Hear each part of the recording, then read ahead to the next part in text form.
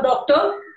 There was a chat happening, and she said uh, for, for infant, if they, they're not able to have uh, breast milk of their mother, the substitute of breast Okay. milk it can have is coconut milk.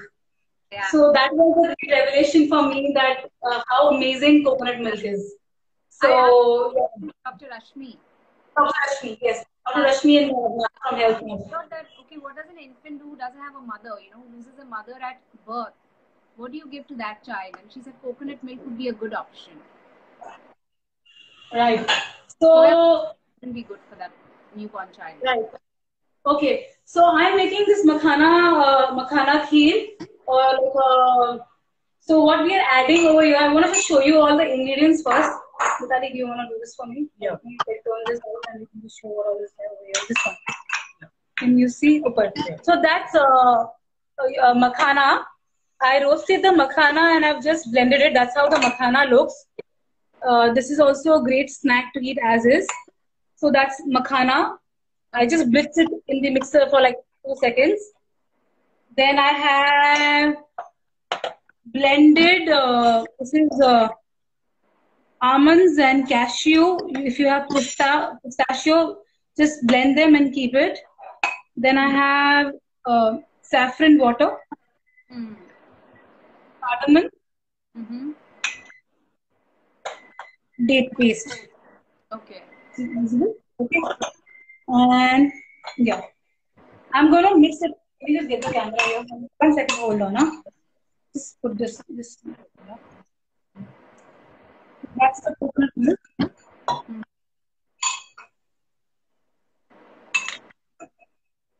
See what's that? What's that? Makhana. Makhana. This is gonna be almonds and cashew. I didn't have pista at my home right now, but pista gives a great kulfi flavor to the kheer. So blended and roasted cashews and uh, almonds. I'm adding the date paste. So this is the sweetener what we are using in this kheer. So yeah, date paste,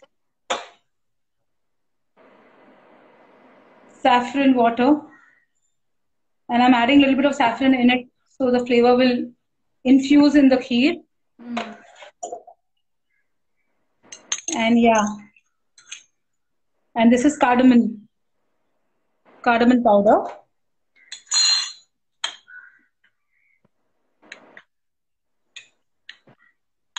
Jinal, the date paste can be stored in the fridge.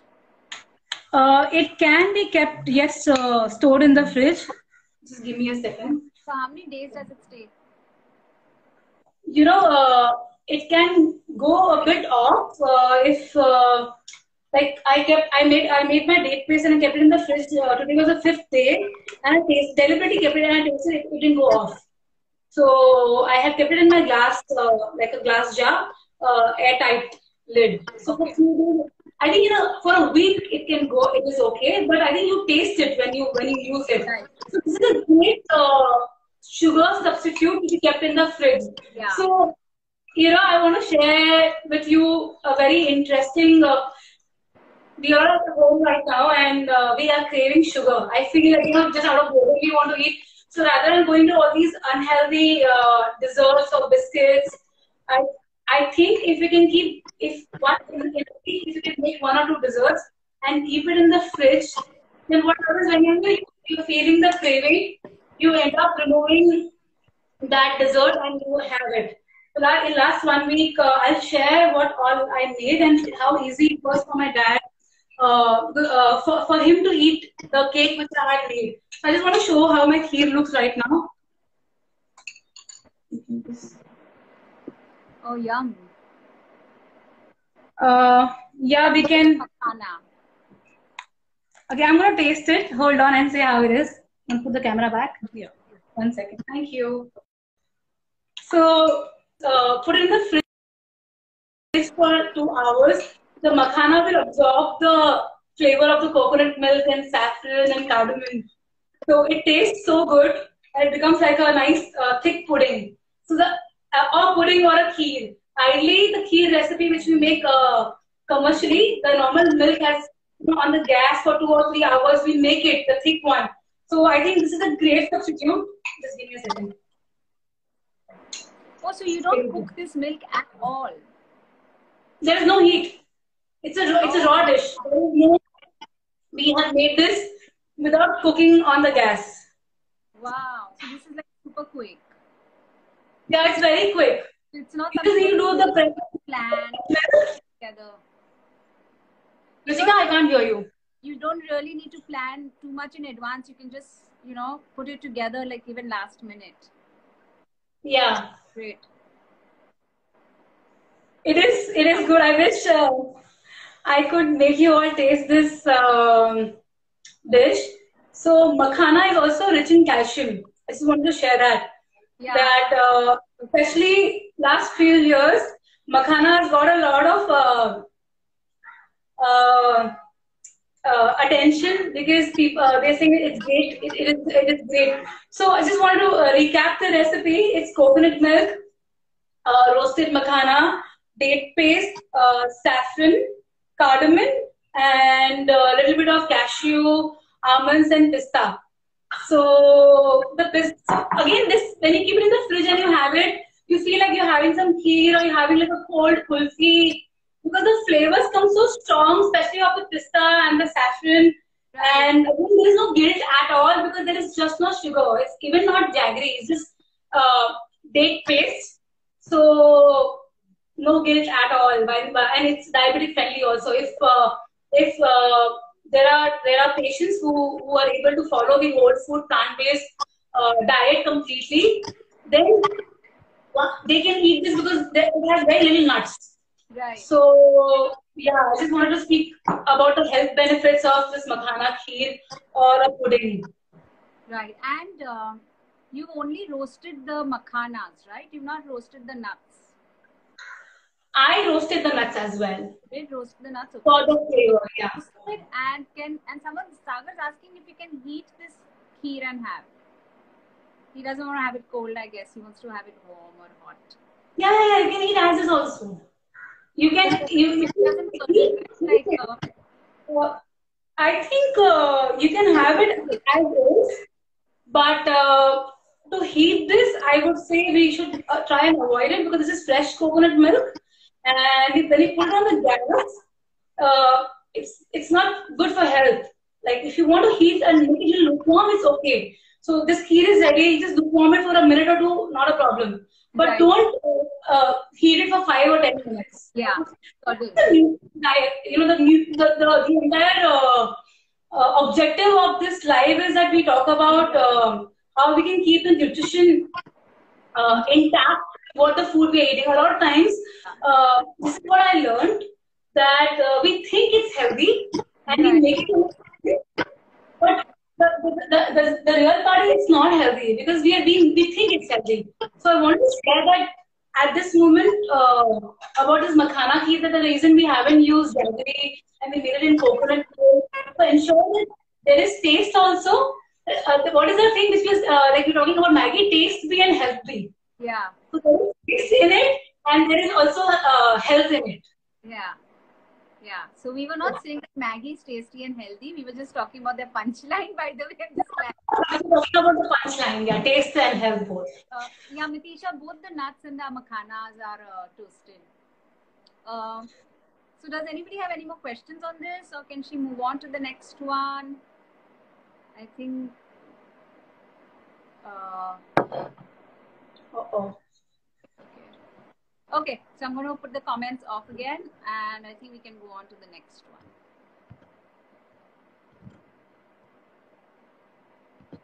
All right. Oh, okay. Uh, is your connection a little weak? No, uh, Wi-Fi just went off. Is it okay? Yeah, I mean your the frame is freezing every now and then, but it's okay. Is it okay now? Yeah, better. Yeah, so we are doing uh, another recipe which is lauki, and uh, I just wanted to share that I grew up hating lauki. I still don't like lauki. lauki, bottle gourd, or Doodhi. In Bombay, we call it Doodhi. Uh, North India, in North Indians call it Loki, and in English, it's called bottle gourd. And uh, this is this one recipe of uh, lauki, which is so tasty that someone who hated having lauki also enjoys eating this so much, and it has so much flavor in it. And uh, what is it called? I will. This is invented in our kitchen. This particular recipe. So uh, my mom had made this for us. I will just show you what what what what it looks like and what are the ingredients in it. And whoever hates lauki over here, in case whoever is watching us live, I feel that this can be a great uh, uh, like a love relationship with lauki. Like it's like a love hate, like because I used to hate it, and I know that uh, lauki is extremely good for health. It has fiber, and it is that Indian vegetable which is very easily available. So again, today's recipe, if you see, we have tried it. We have tried and kept it very local. Most of the ingredients are very easily available, and we didn't keep any fancy, uh, fancy ingredient recipes. All what we have made today is very, very uh, easily available at our uh, vegetable vendor. So this is, uh, yeah. So I just want to tell us how it looks. We can't see. Jinal, can you just show that? I have to add can you see this? Yeah. Coriander. Hold on, I'm just gonna add piece of coriander. So that's how my, uh, that's how this is looking. It can be a great, uh, uh, like a substitute for like having an entire meal as is. Can you see this? Yeah. Okay. So this is made without oil. Keep the camera here. Okay. So uh, just want to talk about this recipe a bit. Uh, so all our recipes, which uh, we'll be making ev- uh, like every week. Jinal, one second. We can't we can't see you clearly. Can you just come to a spot where we can see you a little more clearly? Is this better? Yeah. Yeah. Okay, Ruchika, is this better in terms of my voice? Better. Much better. Okay.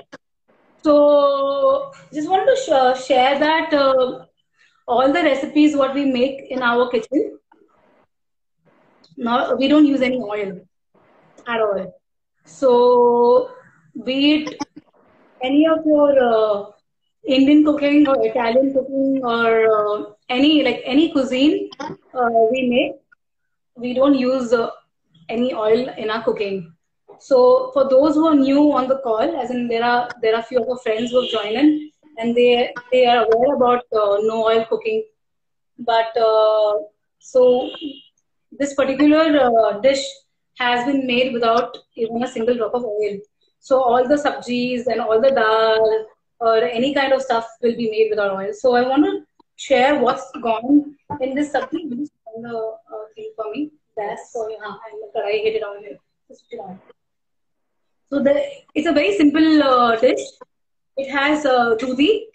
It has a little bit of jeera, hing, uh, green chili, salt, turmeric, peanut powder, lemon juice, and uh, green chili, and little bit of uh, jaggery if you would like, just for the khata mita tikka taste. Because this recipe is like it has a little bit of uh, the the the meat like kata. You know, normally they say in restaurants that if you want to make this is something I learned uh, when I when I work with other other chefs across the country when I go to their their restaurants and try and uh, veganize the recipes. So the chef told me uh, once, a commercial chef, that the trick to make any Indian cooking tasty fun is kata, there has kata, mitha, and thika taste to it.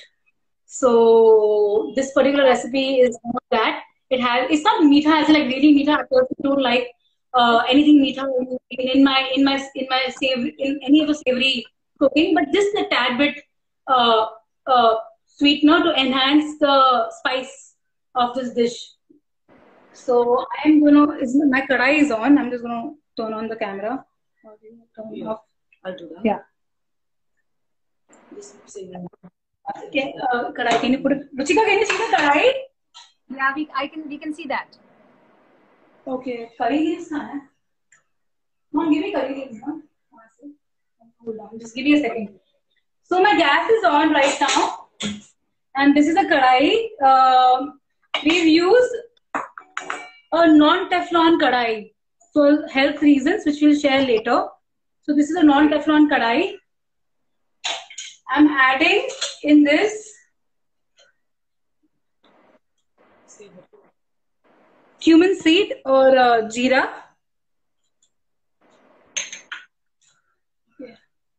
Then I'm adding a little bit of the gas is on. I'm adding hing. If you guys see, there is no oil in it right now in the kadai. So this is hing. And I'm adding the curry leaves. It's gonna be, yeah. Just roasting it for a minute for the jeera to get roasted and curry leaves. Hmm. There is a green chili gone. I'm adding the green chili. This is just a green chili paste, normal green chili.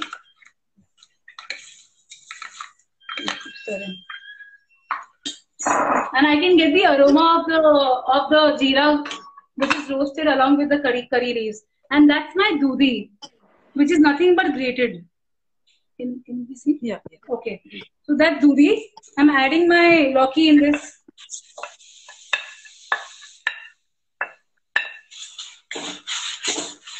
On now. Okay.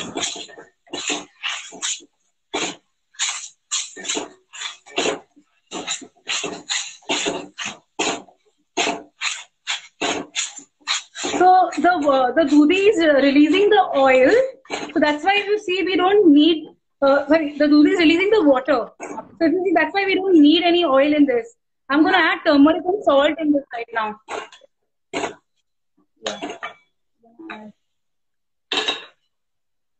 Salt and turmeric. I think the video is paused.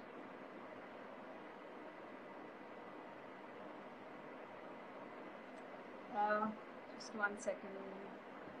She has a weak connection where she's staying right now.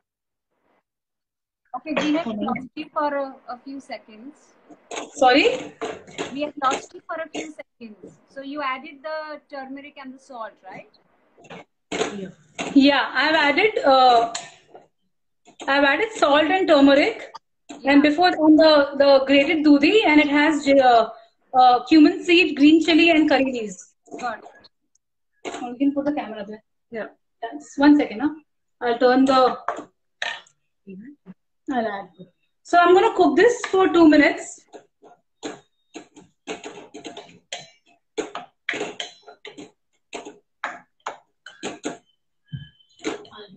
Yeah, you just Yeah, put yeah, this. yeah. Yeah.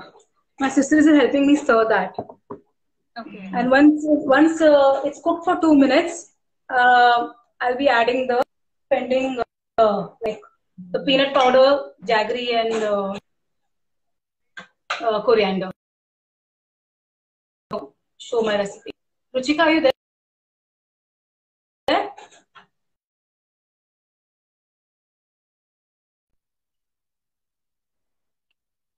Gina, Yeah. uh, you don't add the jaggery while it's cooked, right? You add it after it's cooked. Can you hear me?